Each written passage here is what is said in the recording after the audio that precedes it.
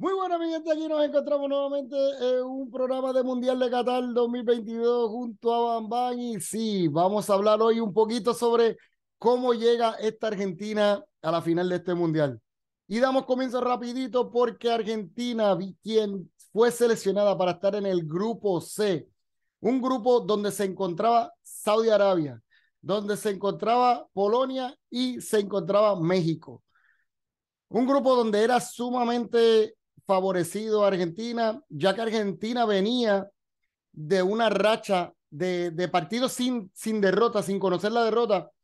Comenzaban obviamente con el last dance de, de lo que era de Messi, más comenzaba con una selección de una plantilla donde venía menos veteranos, mucho más eh, jugadores nuevos a la selección. Y así se mostró en el primer partido, porque arrancó el partido del Mundial, donde arrancó Argentina proponiendo y vacunando Lionel Messi abriendo el marcador en el minuto 10 contra Saudi Arabia.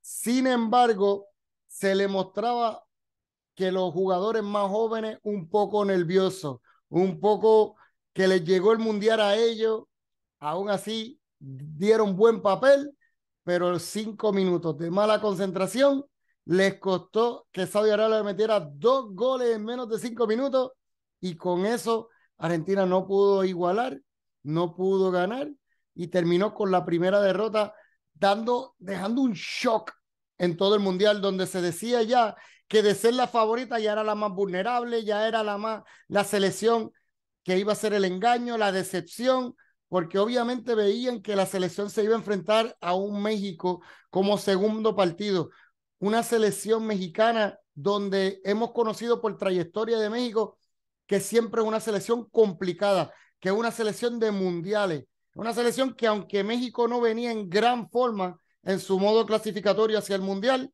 no venía en buena química y con ausencia de grandes jugadores quienes se quedaron atrás, como lo fue Laine, como lo fue Chicharito, como lo fue Tecatito. ¿Sabes? Aún así, este México podía sorprender y dejar hasta eliminada a esta Argentina por la sorpresa que hubo contra Saudi Arabia. Pues se da comienzo de este segundo partido y lo que no se esperaba el mundo era que Tata Martino iba a relegar a su equipo y a su selección y la iba a poner más defensiva y conservadora para intentar contraatacar a la Argentina, plan que no le funcionó, ya que Argentina vino, entró y en la segunda mitad tanto Leo Messi como Enzo Fernández terminaron vacunando en ese partido, terminando ese partido 2 a 0 y dándole vida a Argentina. Una Argentina que terminaba aún así con tres puntos, pero venía y se encontraba para un tercer partido contra una Polonia, quien estaba la Polonia con cuatro puntos y al ley de, primero de grupo y México simplemente a diferencias de goles podía eh, arruinarle y Saudi Arabia también podía arruinarle la clasificación a Argentina. Argentina entraba en este partido contra Polonia, era ganar o ganar. No existía un empate que pudiese darle porque por diferencia de goles se corría mucho riesgo, ya que México con una victoria y múltiples goles lo dejaba fuera. al Arabia Saudita simplemente tenía que ganarle a México y dejaba fuera a Argentina sin importar el resultado de victoria, derrota o empate de, de Argentina. Así que Argentina entraba en este, en este último partido de la ronda primero con muchas preocupaciones y con un tope muy alto y una presión e inmensa. Tuvo que salir, salió contra una Polonia donde nuevamente vimos una Polonia que salió como Argentina, permitiéndole el balón a Argentina, tratando de cerrarle muy bien y a Polonia sabíamos que con un empate le bastaba. Buscó el empate el partido terminó perdiendo el partido. Encontró un, Alexis McAllister en el 46 vacunando y nuevamente Julián Álvarez debutó con su gol en el 67. Así Argentina garantizando con este resultado y obviamente con el resultado de Saudi Arabia que México ganó, de Argentina como primero de grupo del grupo C y Polonia termina pasando a la ronda de 16 eh, como segundo de grupo y cruzándose con Francia, lo cual vimos el resultado. Argentina entonces se encuentra contra una Australia, una Australia quien había sorprendido en el primer partido a Francia metiéndole un gol antes de los 10 minutos y luego de ahí Francia remontando, pues Australia venía con mucha motivación, encontrándose con una Argentina que venía quizás que todos venían con la mentalidad de que ya había dado un tropezón, que era una Argentina accesible, que una Argentina que todavía no se había despertado, que no había mostrado por qué era una de las favoritas o mencionada ser una de las favoritas de este mundial. Aún así, se encuentra y Argentina termina vacunando rápido, poniéndose en posición 2 a 0 gracias a Lionel Messi y Julián Álvarez. Luego de ahí entra un autogol por Enzo Fernández, dándole una vida ya al minuto 77 a Australia, lo cual Australia trajo una inercia inesperada, puso una presión y por poco logra hacer la segunda vacuna a, Argentina. Aún así, Argentina termina airoso en ese partido. Obviamente, como dice mucha gente, pidiendo un poco el tiempo. Sale de ese, de ese partido completamente complicado, lo cual lo trae al partido contra los versus los Países Bajos y traía muchas dudas porque Todavía no se había visto esa mega Argentina dominadora, arrolladora que se esperaba ver en este mundial. Una Argentina cómoda.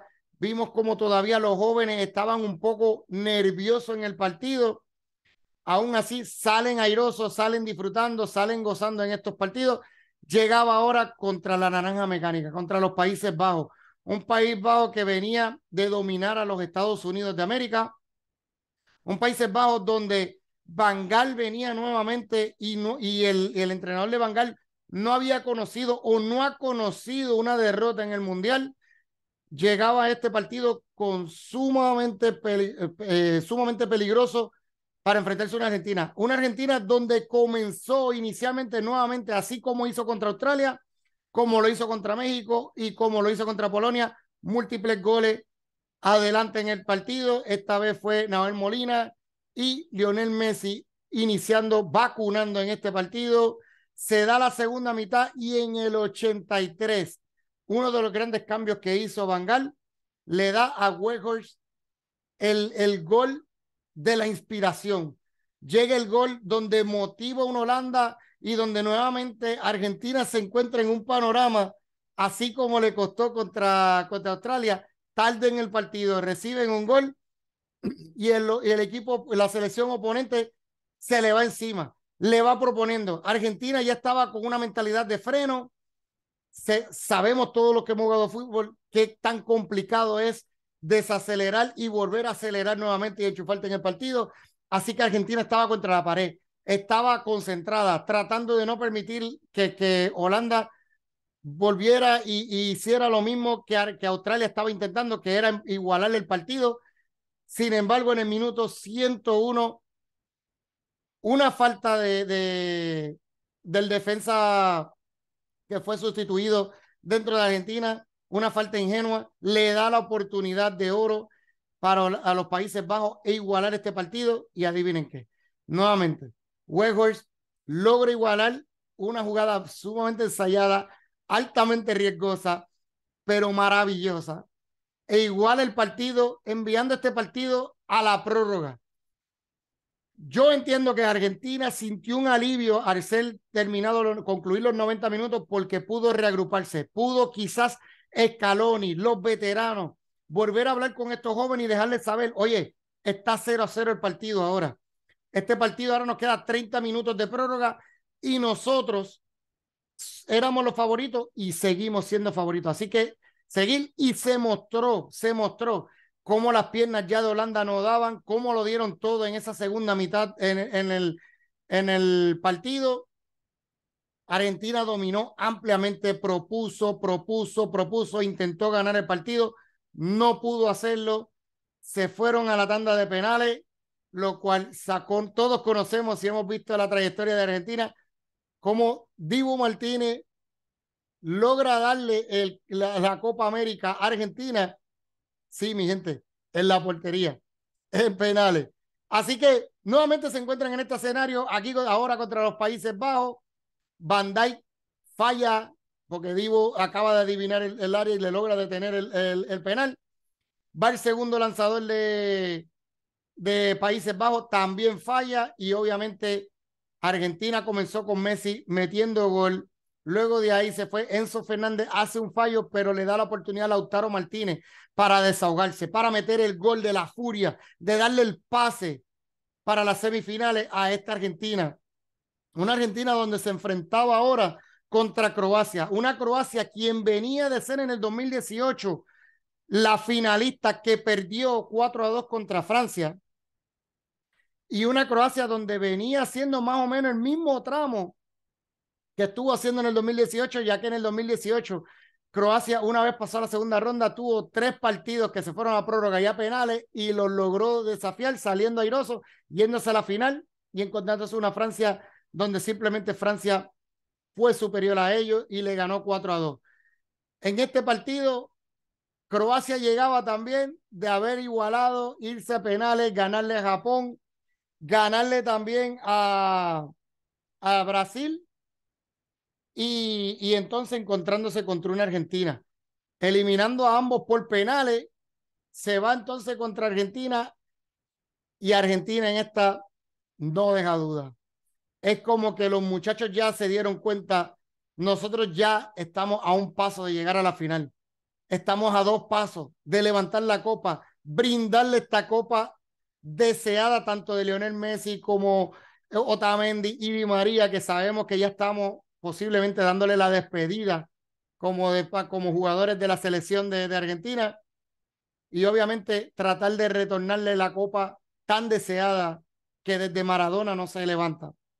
Así que Argentina sale en este partido, Leonel Messi abre el marcador con un penalti que creó Julián Álvarez. Julián Álvarez luego de ahí termina vacunando dos veces en el partido y así dándole la victoria y una victoria donde Argentina mostró ser unida y arrolladora, lo que se esperaba de esta Argentina. Así que Argentina llega a esta final con sumamente confianza.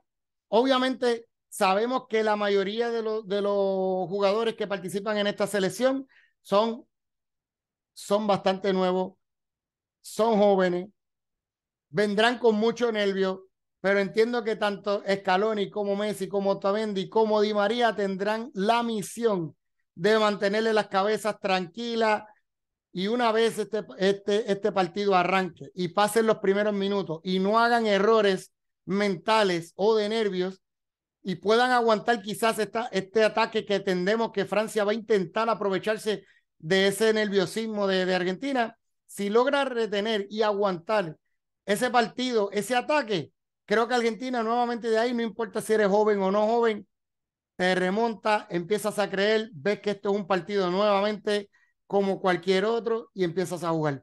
Y veremos entonces los fuegos artificiales que nosotros todos esperamos que va a estar proyectado para esta final. Ahora, ¿quién yo creo que va a estar participando en el once inicial? Yo creo que, que saldrá Argentina con un 4-4-2. Y sí, yo veo a Emiliano Divo Martínez en la portería. Veo la defensa de Nahuel Molina, Cristian Guti Romero, Nicolás Otamendi y posiblemente la duda está si veremos a Acuña el lateral o Tagliafico. Tagliafico lo hizo muy bien contra Croacia, pero todos sabemos que Acuña ha sido eh, titular en la mayoría de los partidos. Obviamente tuvo suspensión y no pudo jugar en el pasado. Yo me voy que, Marco Acuña va a ser el lateral eh, de, del once inicial. Veremos a ver si eso se da.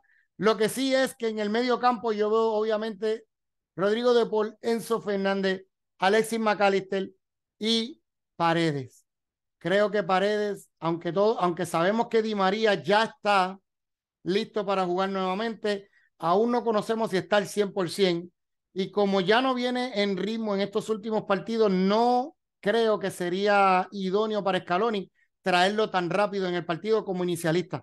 Creo que Scaloni debería traer a, a, un Ángel Di María posiblemente en la segunda mitad para inyectar esa velocidad y ese regate tan genuino como tiene el Fideo, lo cual, oye, la gente habla siempre de que Messi, Messi, Messi, pero se nos olvida de que un jugador como el Fideo no lo volveremos a ver por mucho tiempo tampoco. Jugador muy, muy determinante y hemos visto como en la selección de Argentina a través de los años ha sido inmensamente de suma importancia para ellos. así dejaríamos la delantera de este partido con Leonel Messi y Julián Álvarez. La dupla, la dupla que se ha visto muchas imágenes donde Julián Álvarez se veía tomándose una foto muy jovencito con Leonel Messi como su ídolo y hoy en día está abrazándose como compañeros de selección. Oye, este sería un día histórico, histórico para Argentina porque desde el 86 Argentina no levanta una copa. Ya le toca. Está sacando América, no ha levantado una Copa América, no ha levantado una Copa Mundial desde el 2002 que la levantó Brasil. Es hora ya de que le toque a América levantar la copa. ¿Podrá levantar la copa Argentina?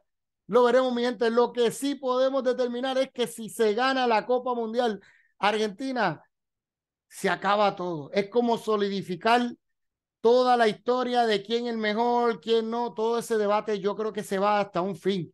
Yo creo que sería como el regalo futbolístico para la historia de la, eh, de la, leyenda, de los grandes y posiblemente considerado el mejor de, de la historia, Lionel Messi.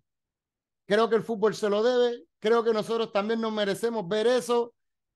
Le estamos enviando las mejores vibras a Argentina y así como yo la tengo también puesta, confío que Argentina va a ganar y que estaremos cantando todo. Así que definitivamente no se pueden perder esta final. Esto será espectacular.